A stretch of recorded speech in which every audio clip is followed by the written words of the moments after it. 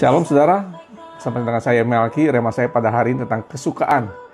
Terambil dari Mazmur 1 ayat 2 yang bunyinya tetapi yang kesukaannya ialah Taurat Tuhan dan yang merenungkan Taurat itu siang dan malam. Nah, kesukaan di sini berarti kegemaran. Bila dilakukan akan membuat suka atau sering dilakukan. Bahkan direnungkan artinya dijadikan suatu kebiasaan. Jujur, ketika kita mendengar firman Tuhan atau khotbah, satu jam, satu hari, atau satu minggu kemudian kita lupa karena lewat begitu saja.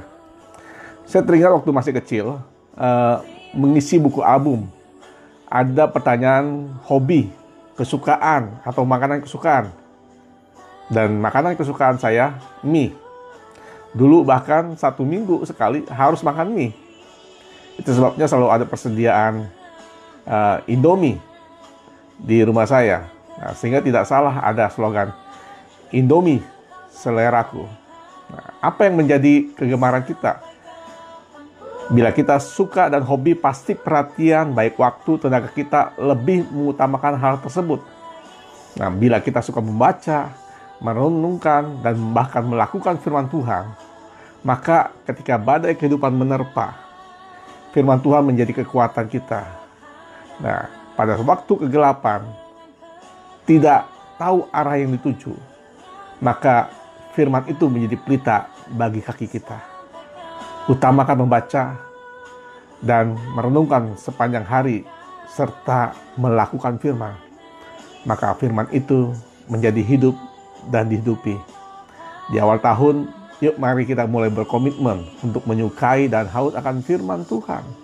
Agar kita terus bertumbuh di dalam pengenalan akan Kristus, Tuhan kita. Tuhan memberkati, selamat uh, berweekend ria. Dan seperti saya katakan bahwa Indomie seleraku, entah pagi, entah siang, entah malam waktu menjelang tidur. Kalau saya iseng, saya suka akan Indomie. Yuk, Mari kita santap makan Indomie dulu. Tuhan memberkati kita semua. Hmm. Mantap. Kalau kita suka, pasti kita gemar. Kapan pun, di mana pun. Kalau kita firman Tuhan, kalau kita suka firman Tuhan, maka entah pagi, entah siang, entah malam, kita menyukai firman Tuhan. Kita baca firman Tuhan, merenungkannya, dan melakukannya. Tuhan memberkati kita semua.